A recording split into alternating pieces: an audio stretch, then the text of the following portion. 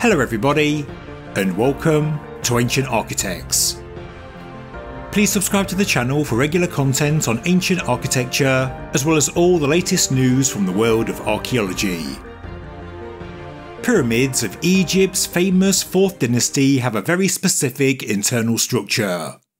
There was a multi-phase plan to build them, and after looking at the Meidum Pyramid, the Menkaure Pyramid, and the Queen's Pyramids at Giza, we know that the first phase was the stepped inner core. The Great Pyramid is no different, and researcher Craig McDonald shared his ideas on its step core just recently. He's long believed there was a clear evolution in Egyptian architecture from mastaba to stacked mastaba, aka step pyramid, and from step pyramid to true pyramid. Many researchers, including Craig and myself, believe the Great Pyramid has a very specific stepped internal structure inside. And this stepped core is the most important phase of work in any pyramid project. Because if the core was a success, the pyramid was basically a success. After completing the core, the builders then added the backing stones, and this was to turn it from a step pyramid to a true pyramid. And then the final stage was the casing, to give the pyramids their magnificent fine finish. When we look at the Great Pyramid today, it's been stripped of its white Tura limestone casing, but it's still a majestic sight to behold. The stones we're looking at are from the second phase of work. They're the backing stones, and if these were removed, we would find the original step core of the Great Pyramid.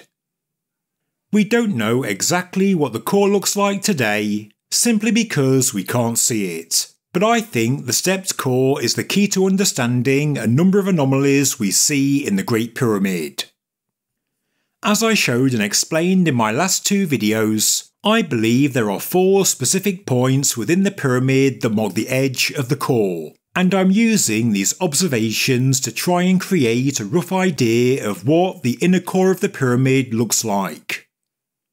I believe the Queen's Chamber air channels end at the edge of the stepped internal core, an idea presented in a paper by researcher Laurens van Vliet and also shared independently by Craig McDonald.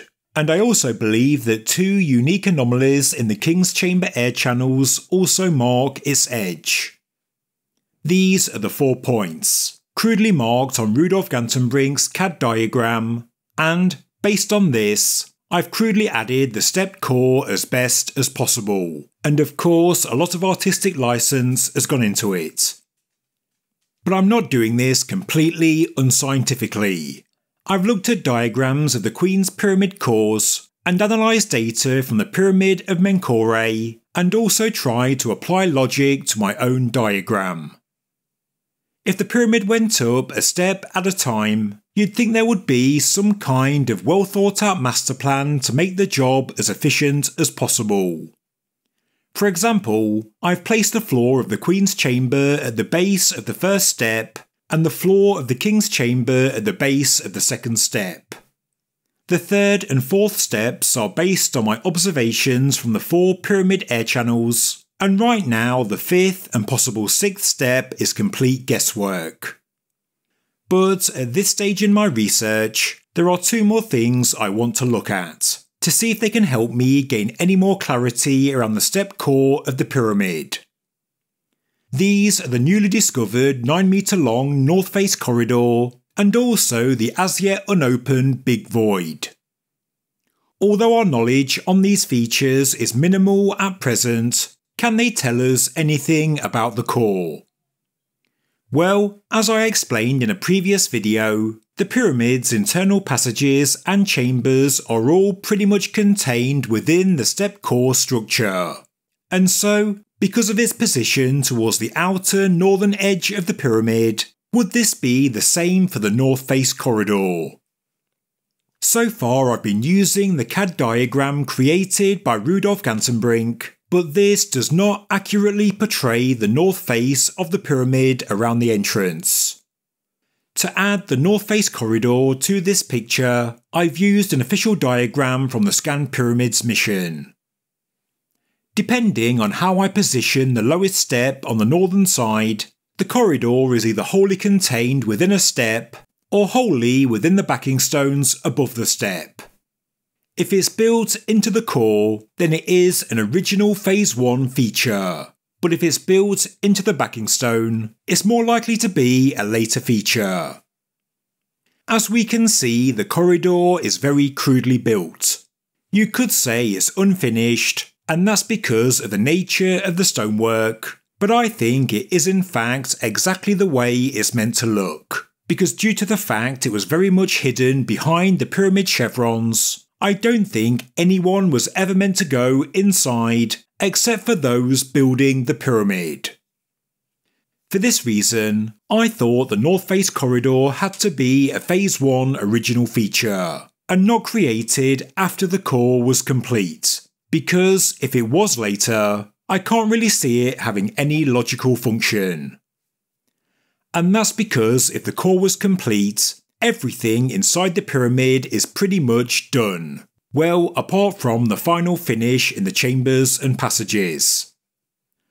But if the North Face corridor was an original part of the Phase 1 core structure, well, it is an odd design because it wouldn't be easy to enter and exit. It's horizontal, meaning it would be built into a step and coming out of its near vertical face. I guess there could have been a ramp up to it, but it just seems a bit, well, clunky. There's a better way to do this. I'll come back to the North Face corridor shortly, because before we go further I want to consider the Big Void, which, based on the data available from Scan Pyramids, is certainly wholly contained within the step core of the Great Pyramid. Right now, we still don't know the exact shape of the big void, whether it's horizontal, inclined upwards or downwards, but new geophysical tests in the coming weeks should be able to confirm this.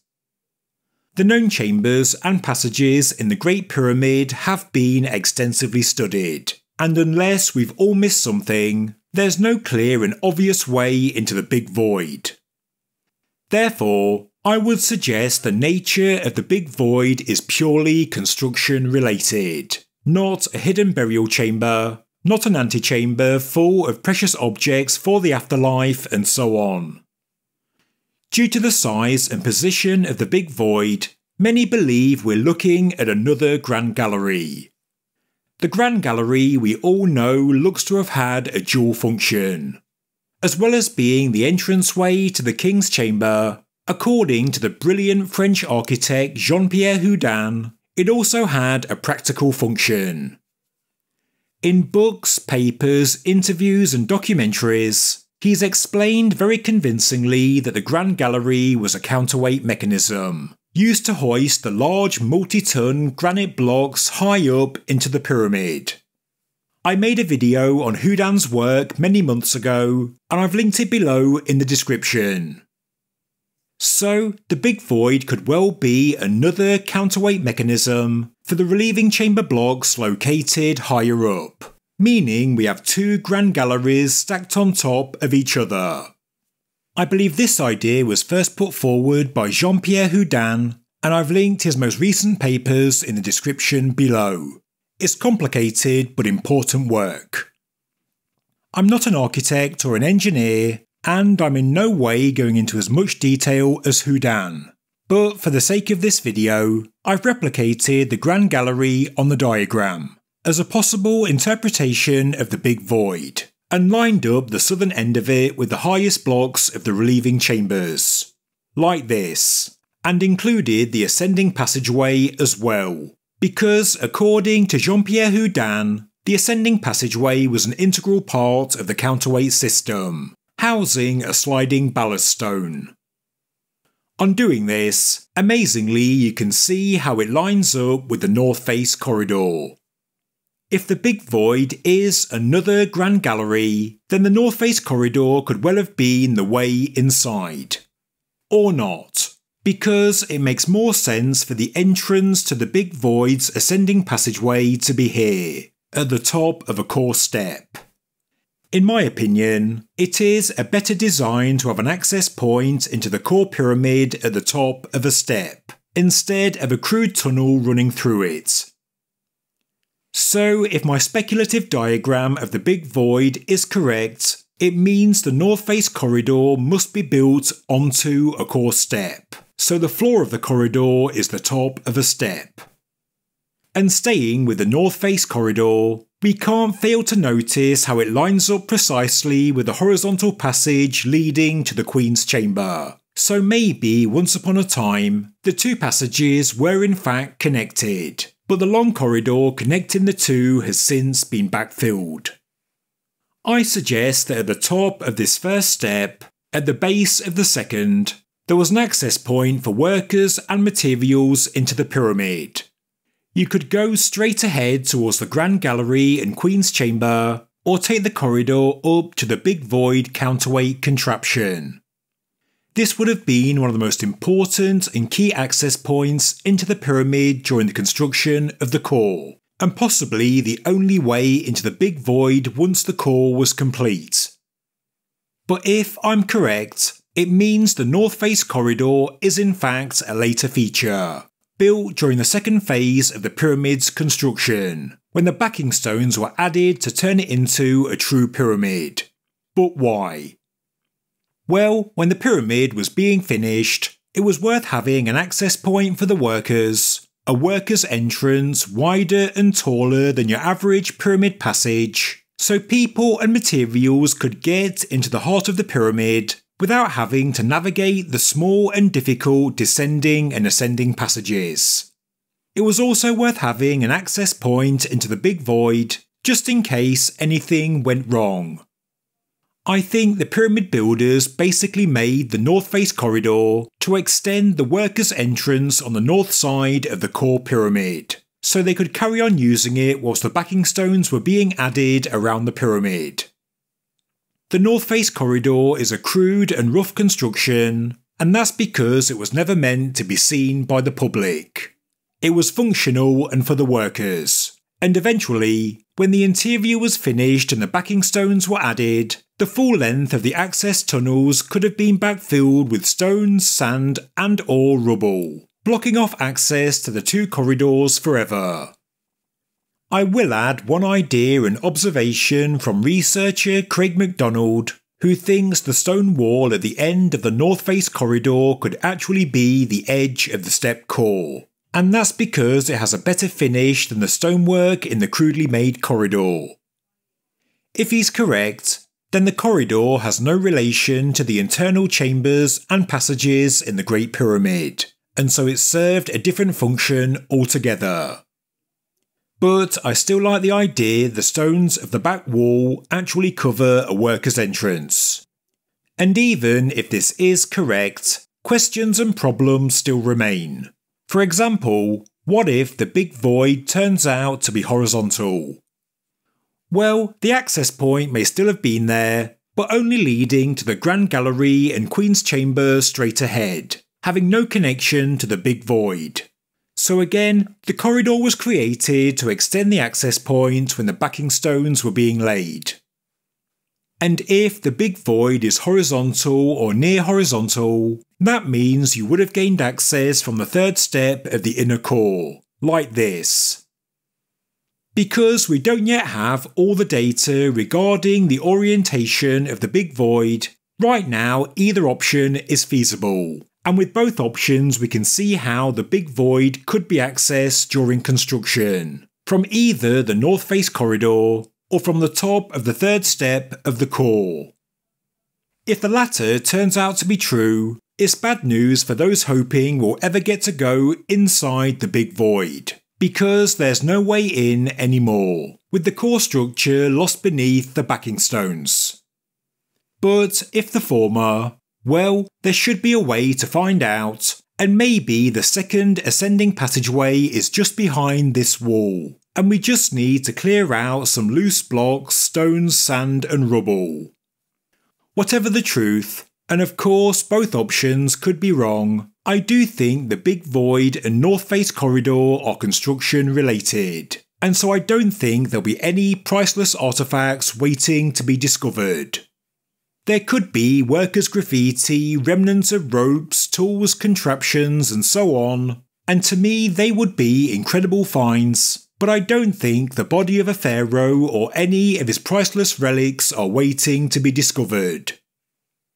Just like my last video, this one is also speculative, as I attempt to create a rough diagram of the core of the Great Pyramid, based on only a handful of observations and my own logical assumptions. And from this video, I'm going to make the assumption the North Face corridor was built onto the first step of the core, because this to me does make the most sense. So, with my four data points from the four pyramid air channels, I'll now add a fifth, the floor of the North Face corridor. And so my Great Pyramid inner step core now looks like this.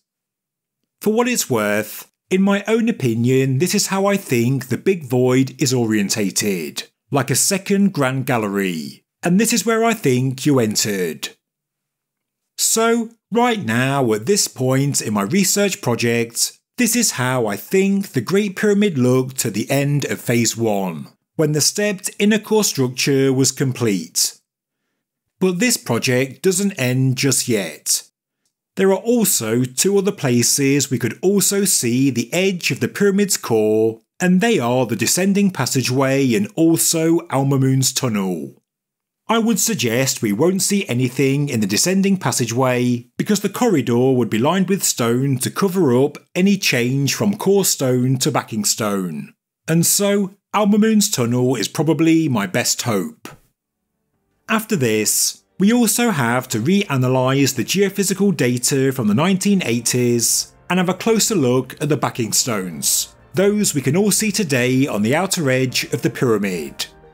Maybe there's a pattern in the thickness of each course that could tell us what's hiding beneath. All this and hopefully so much more to come.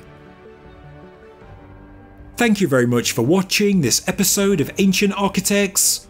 If you enjoyed the video, please subscribe to the channel, please like the video, and please leave a comment below. Thank you very much.